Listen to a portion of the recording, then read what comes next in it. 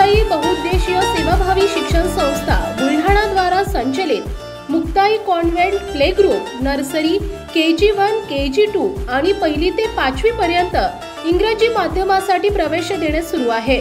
संपर्क अठ्ठ्याऐंशी तीस बावीस चौऱ्याऐंशी एकाहत्तर आणि अठ्ठ्याण्णव बावीस पन्नास सदोतीस पंचवीस पत्ता Malvihir Chetananagar Khamgaon road Rajmudra banking career since two thousand twelve banking staff selection I B P S T C S R R B S B I scholarship Navodaya गणितीय olympiad Sainik school G charm abacus and brain gym abacus foundation standard first to standard eight Rukhai कन्या शाळेजवळ Chaitanyawadi Buldhana mobile number नव्याण्णव एकवीस त्र्याहत्तर पंच्याण्णव पन्नास आणि पंच्याण्णव शून्य तीन सोळा पंचवीस पंच्याण्णव.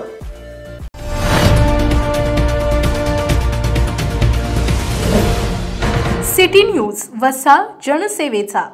बुलढाणा येथील जिल्हा रुग्णालयातील शेकडो कोटी रुपयांच्या भ्रष्टाचाराप्रकरणी अधिकारी किती अक्षम्य टाळटाळ करत आहेत हे आता स्पष्टपणे समोर येऊ लागले या भ्रष्टाचाराप्रकरणी नवनियुक्त आरोग्य उपसंचालक भंडारे यांना माहिती विचारली असता त्यांनी राज्यस्तरावरील वरिष्ठ अधिकारीच याबाबत निर्णय घेतील असं थातुरमातुर उत्तर भंडारे यांनी दिले वस्तुतः भंडारे यांनी स्वतः या ठिकाणी झालेल्या भ्रष्टाचाराची चौकशी केली होती त्याचं काय झालं हे सांगण्यासही भंडारे यांनी टाळटाळ केल्यानं या भ्रष्टाचाराचे पाळेमुळे किती दूरवर पसरले आहेत याचा अंदाज येऊ लागलाय. येथील जिल्हा रुग्णालयात बोकाळलेल्या करोडो रुपये भ्रष्टाचाराप्रकरणी गेल्या अनेक महिन्यांपासून सातत्याने सिटी न्यूज आणि दैनिक जनसंचलन वृत्तमालिका प्रकाशित करून भ्रष्टाचाराचा भांडाफोड करत आहेत. खरे तर या प्रकरणी सिटी न्यूज आणि दैनिक जनसंचलनने जो काही पुढाकार घेतलाय त्याबाबत वरिष्ठ अधिकाऱ्यांकडून कौतुकाची थाप पडणे गरजेचं आहे. मात्र खालपासून वरपर्यंत अनेक अधिकारी यामध्ये सामील असतील तर मग एका निर्भीड वृत्तपत्राची प्रशंसा करणार तरी कोण? सिटी न्यूज आणि दैनिक जनसंचलन सातत्यानं हा प्रयत्न करत आहे की जिल्हा रुग्णालयातील घोटाळे बाजांवर कठोर कारवाई झाली पाहिजे. मात्र या ठिकाणी वारंवार चौकशा करण्यात येत आहेत. कधी उपसंचालक स्तरावर चौकशी कधी आयुक्त पातळीवर चौकशी तर कधी आणखीन कोणत्या पथकाकडून चौकशी. केवळ चौकशांचा बाजार भरलाय परंतु एकाही चौकशी समितीचा अहवाल समोर येत नाही. एकाही चौकशी समितीमध्ये घोटाळ्यांची सविस्तर माहिती समोर येत नाही. एकाही भ्रष्ट अधिकाऱ्यावर कारवाई होत नाही.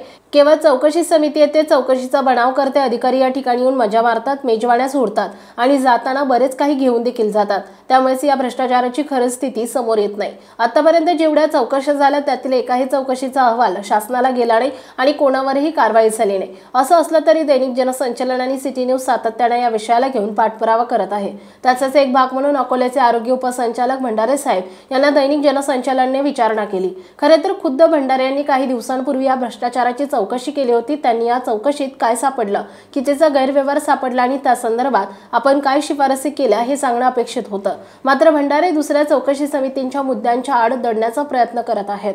राज्यस्तरीय समितीनं चौकशी केली असून या संदर्भात राज्यस्तरावरील अधिकारीच काहीतरी निर्णय घेतील त्यांच्या या निर्णयावरून. मग आम्ही कारवाई करू असं सांगितलं.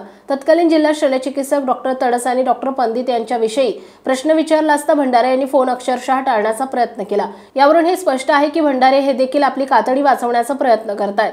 जिल्हा रुग्णालयातील औषधी आणि साहित्य उपकरणांचा करोडो रुपयांचा घोटाळा हा इतका सखोल आणि इतका व्यापक आहे की या भ्रष्टाचाराच्या भंडाऱ्यामध्ये अनेक अधिकाऱ्यांनी अक्षरशः अजीर्ण होईस्तोवर खाताडलेला आहे. अनेक अधिकाऱ्यांनी या भ्रष्टाचाराच्या गटारगंगेत लोळून घेतलंय. अनेकांनी या भ्रष्टाचाराच्या पैशांमधून स्वतःचा अवैध चल अचल संपत्ती जमवल्यात. यातील अनेक पदाधिकाऱ्यांच्या अवैध संपत्तीची माहिती आणि कागदपत्रे फोटो चित्रीकरण सिटी न्यूज आणि दैनिक जनसंचलनकडे प्राप्त असून येत्या काही काळात याबाबत योग्य तो खुलासा केला जाईल. त्यामुळे अनेकांसाठी सिटी न्यूज आणि दैनिक जनसंचलनचा हा भंडारा चांगलाच घातक ठरणार आहे. जोपर्यंत या भ्रष्टाचारात अखंड बुडालेल्या अधिकाऱ्यांवर फौजदारी कारवाई करून त्यांना गजाआड केलं जात नाही तोपर्यंत दैनिक जनसंचलन आणि सिटी न्यूज आपली भ्रष्टाचाराविरोधी कणखर भूमिका कायमच राहणार आहे. भ्रष्टाचारातून करोडो रुपयांची जमवलेली चलचल संपत्ती अपसंपदाची मिळालेली माहिती लवकरच आयकर विभाग आणि लाचलुचपत विभागाकडे तक्रार करते. पूर्ण पुराव्यानिशी देणार असल्याचं कळतंय. City news Buldhana.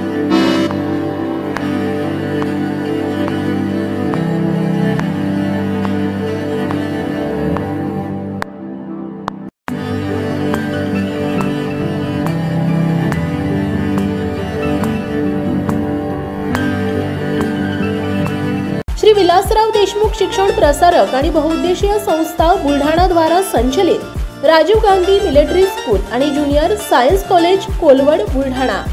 जिल्ह्यातील एकमेव मुलांची सैनिकी शाळा. दोन हजार चोवीस पंचवीस प्रवेश प्रक्रिया सुरू. अधिक माहितीसाठी संपर्क चौऱ्याण्णव शून्य चार अठ्ठावन्न त्र्याऐंशी एकोणीस आणि एक्क्याण्णव तीस त्र्याऐंशी तीस चोवीस.